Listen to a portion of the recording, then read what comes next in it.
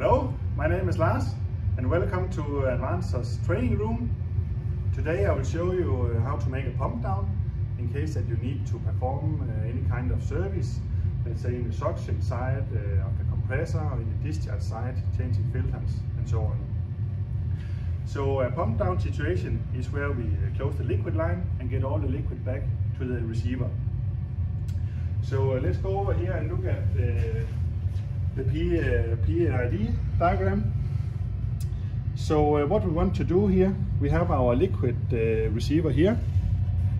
We want to close down uh, the liquid line here so that we are emptying the complete uh, liquid line uh, from liquid. So there is, uh, there is two things that you need to take into consideration. You need to make kind of an estimate of you are able to have all the liquid in the receiver or if you are not able to have all the liquid in the receiver. Because if you are not able to have all the liquid in the receiver, when you're making a pump down and the level goes high enough, then you will actually reach, uh, reach uh, the port here into the gas bypass valve and we cannot allow that at all. So when we, when we uh, have uh, closed uh, the valve here, then we need to stay look at uh, the upper side glass. If you can see liquid in the upper side glass, then we need to close, uh, close the valve, the ball valve here in front of uh, the gas bypass valve. So uh, in the case here, we also have uh, a parallel compressor, an IT compressor, and uh, I will suggest that we are closing the suction valve to the IT compressor even before we start to make the pump down. So we will close this valve uh, right before we start. So uh, let's just uh, let's just uh, jump into it. We will start up the evaporators now so that we can see uh, how it's uh, how it should be done. So now every all of our evaporators here in the training room are running in high capacity. The first thing we will do is to shut off the suction side to the parallel compressor. After that, I will go over and uh, shut shut off the liquid line, and then we need to go watch the receiver uh, how the liquid level uh, will behave. So just uh, follow me.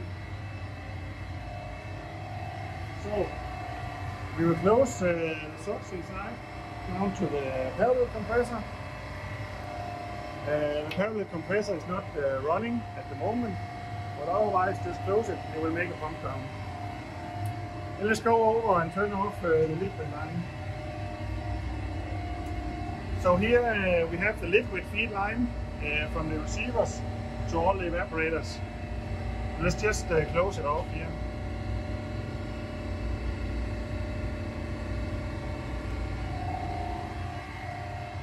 So then we need to watch uh, the receiver. We need to watch the side glasses where the liquid level uh, is.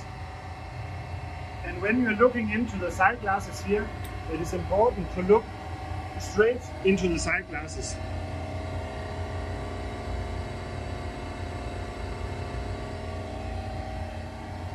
And as we can see now, there is no liquid yet in the bottom side glass. So we need to wait a bit and see. So if the liquid, if we see the liquid here in the bottom and in the middle side glass, then we need to, to watch the upper side glass. And if we at any point see liquid in the upper side glass, we need to close the valve here in front of the gas bypass valve and then go and shut off uh, electrical supply immediately uh, to the rack. So now we can hear the pump down is, uh, is taking its place because the compressor capacity is going down. Still, there is no liquid uh, here in the bottom side glass. And of course we knew that our system, we don't have uh, that much liquid uh, in the liquid line. So let's say that we have a situation where the liquid was uh, rising, then you need to be ready here to, uh, to close the valve immediately in front of uh, the gas bypass valve.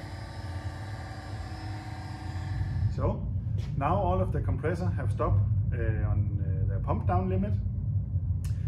And that means we have a quite low pressure in the suction side, both of uh, freezing compressors and the cooling compressors. So let's go and look at the, the receiver uh, one more time. While we were doing uh, the pump down, I was really focused to look here in the upper side glass and to make sure the liquid was not here. If the liquid uh, was present here during uh, the pump down, I needed to close uh, the valve in front of the gas bypass valve immediately. So let's go look at the, PI diagram now, since that now uh, we want to isolate the, receiver so that we can uh, perform service. So uh, the receiver here is containing most of the liquid in the, the system now. We have closed the ball valve here in the liquid line. I have closed the valve here in the suction side to the parallel compressor. What I want to do now is to isolate the receiver completely and uh, in case that you have a setup where you can change to uh, an 80 bar safety valve, uh, we deliver that on request. Then uh, we want to do that in a service situation like this, so we have more time to perform the service. So, what I'm going to do now is I will close the valve here in front of uh, the gas bypass valve I will close uh, the line here coming from uh, the oil reservoir, the valve here, and then I will close uh, the valve here after the high pressure valve. When I've done that, then we have isolated the receiver completely, and then I will change to the 80 bar safety valve and turn off uh, the controller. So let's uh, let's go do that. So we are closing here uh, the valve in front of the gas bypass valve Now I want to, uh, to close the connection down to the oil reservoir. That is the connection you see here.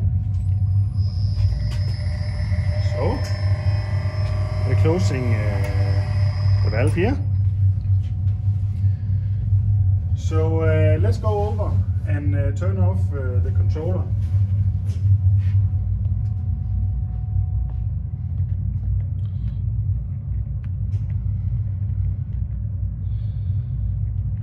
So uh, in this case it is a Danfoss controller, but it will be uh, the same that you need to do in uh, no matter what control uh, system it is. So now let's go uh, close the valve in front of the high pressure valve and change over to the 80 bar safety valve. And we have the ball valve in front of the high pressure valve here.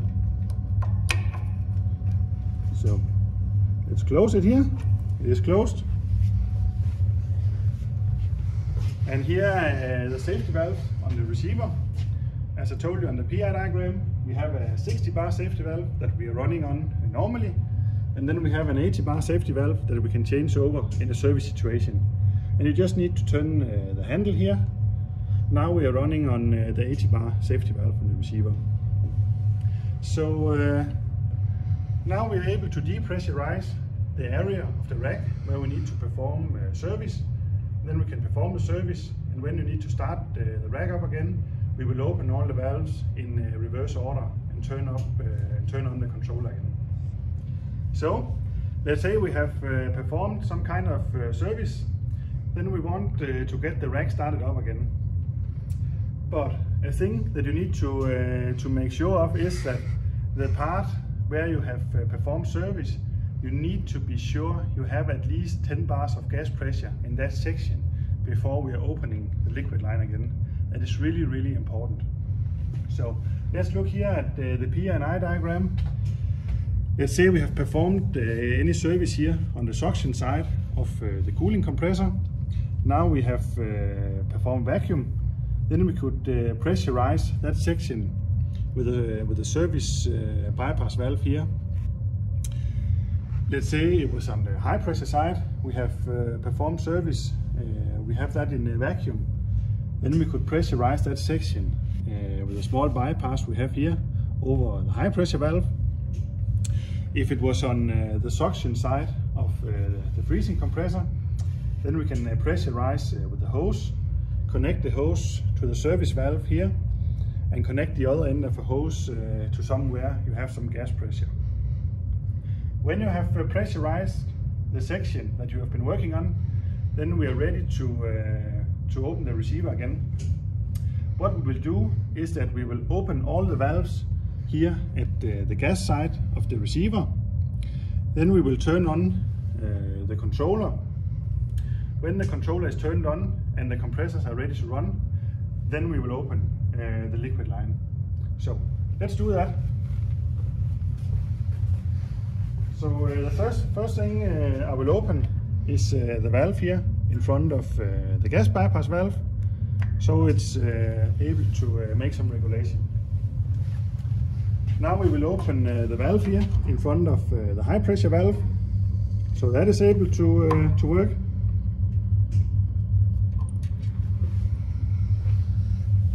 Then we will open the connection here down to the oil reservoir. So there's only one valve uh, in the gas side I didn't open, and that was the suction side to the parallel compressor. We will open that uh, at the end, but let's first uh, turn on the controller again. So over here at uh, the display, let's just get uh, the main switch uh, turned on.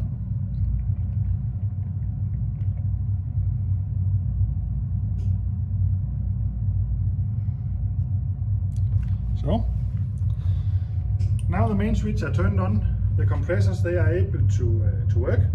So let's just uh, open uh, the liquid line out to all the evaporators.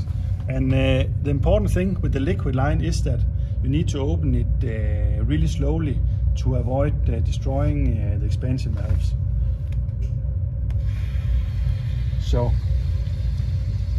let it get some time to to to fill the liquid line it can uh, it can take uh, a while, but uh, give it some time.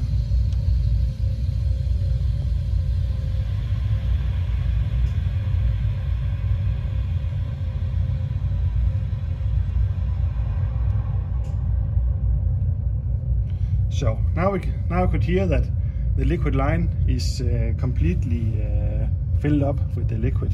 Then we'll just open uh, the valve completely here. So, the last thing I will do is to open the suction side to the parallel compressor and change over to the 60 bar safety valve again. Change of uh, the safety valve is just to turn uh, the handle. Now we are running on uh, the 60 bar safety valve here. The last thing I will do is to open uh, the suction side uh, to the parallel compressor.